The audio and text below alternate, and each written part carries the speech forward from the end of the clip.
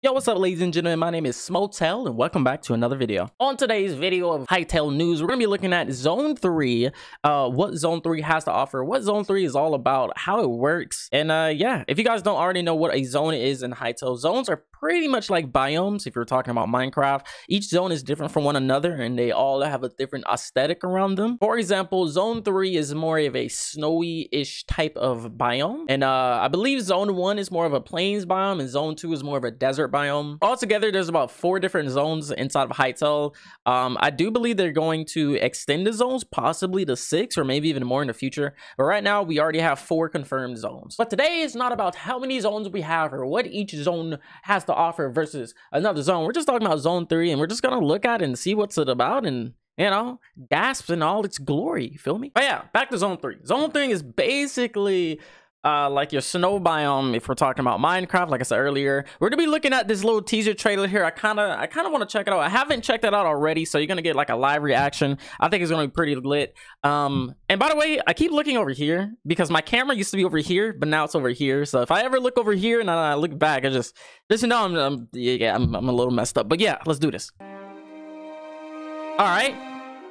All right we got the snow. I like how the leaves look and they're like switching in there. Is that a polar bear? Okay Okay, that's nice. Nice little polar bear, nice little village in the back.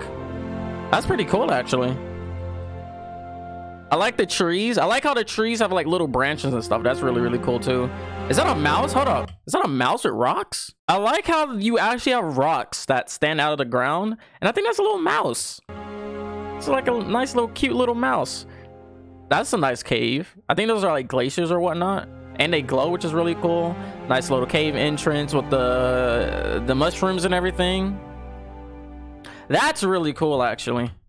This right here is actually really really cool. I don't know if this is like randomly generated or they just built this but it's like a little village that's on the inside of a cave which i think is really really neat. Really really neat.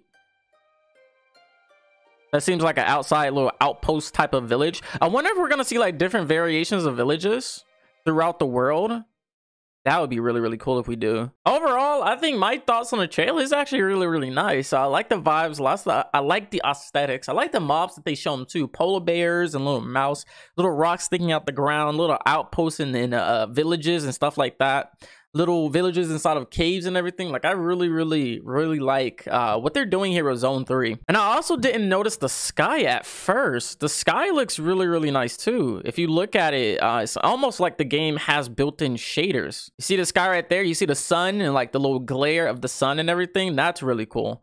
It looks like it actually has built-in shaders which is interesting. Now they did offer us a few screenshots and a few little bitty, little bitty video snippets here and there. So we're gonna be taking a look at those too, just to see which ones actually poke out to me. I like this picture right here it's like a ram or whatnot. I really, really, I like how they show off a lot of the mobs as well. Like they showed off polar bears, rams, little owls. Like this is a really, really cute little owl right there that's sitting on like a little, little stump of a branch. I like the amount of prefabs that they've shown too. Like this in itself, just having this randomly generate in your world would be amazing, especially if there's like NPCs or whatnot around and then there's like like treasure inside of the chest or whatnot. I think that's really, really nice. They also showed a picture of this, which I think is a nice little cave. It looks like we got a skeleton. Um, it looks just like a little dungeon or maybe a mine shaft of sorts. Um, but it looks really cool. I, I, can already tell that the amount of prefabs that's going to be inside of Hytale is is going to be immense, literally immense. There's going to be a lot of randomly generated structures um, to the point where you're gonna realize that it's it's a lot. You know, you're not gonna see the same structure more than once unless you really play the game a lot. I feel. Now, this is an interesting little picture here. It says Outlanders, which I did read a little bit about what this was about. And I'm assuming these are evil people because it, it, talks about corruption. If I'm looking at this correctly, it seems like certain parts of Hytale will be corrupted. And uh, during these corruptions, you'll find monsters or mobs that are enemies, which is pretty interesting. I wonder if these are only going to spawn in Zone 3 or are these going to be overall, like, you know, zones or whatnot. Here's another super duper interesting screenshot. It seems like it's a it's a point of view of somebody inside of a cave, and uh, in the back you see like the monster or whatnot. It looks like a yeti type monster in a snow biome. He looks pretty fearsome.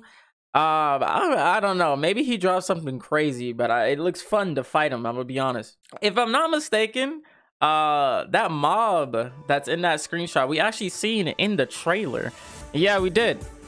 Right in this, right after, right here. This is the mob. That's the mob we just seen in a screenshot, which is actually really, really cool.